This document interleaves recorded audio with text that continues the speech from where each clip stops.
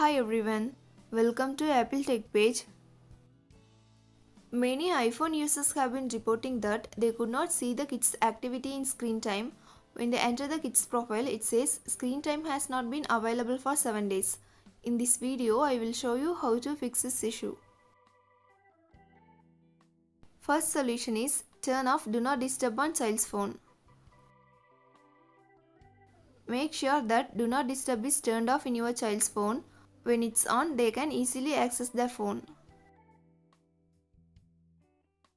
Second solution is enable airplane mode and disable it. To do this, launch Settings app. Next, enable airplane mode, wait for 10 seconds and disable it. Third solution is check your kids' date and time settings. Make sure that your kids are not change the date and time settings on their phone. To check this, launch Settings app. Next, tap on General. Tap on Date and Time. Make sure that Set Automatically is turned on and date and time are set correctly. If they set wrong, correct it. Solution 4 is change your kid's device name. To do this, go to Settings app. Next, tap on General. Now tap on About. Tap Name. Change the name from the current one. Now reboot your device and kids device.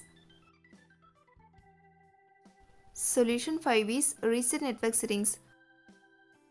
Resetting the network settings resets your Wi-Fi networks and passwords, APN and VPN settings and cellular settings. To do this, go to Settings app.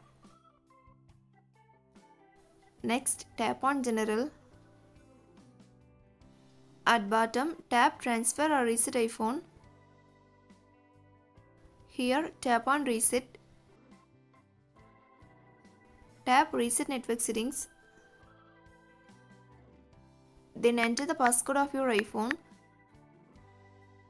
Tap Reset Network Settings in the pop-up window to confirm the process. Solution 6 is turn off screen time and turn it back on. To do this, launch Settings app. Next, tap on Screen Time. Scroll down and turn off screen time. Again tap turn off screen time to confirm the process.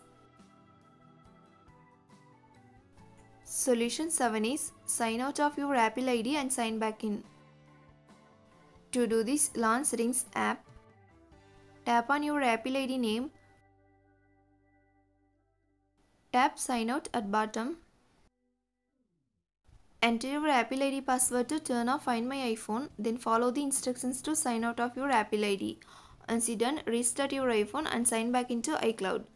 Thanks for watching this video. Do like, share and subscribe to Apple TechPage.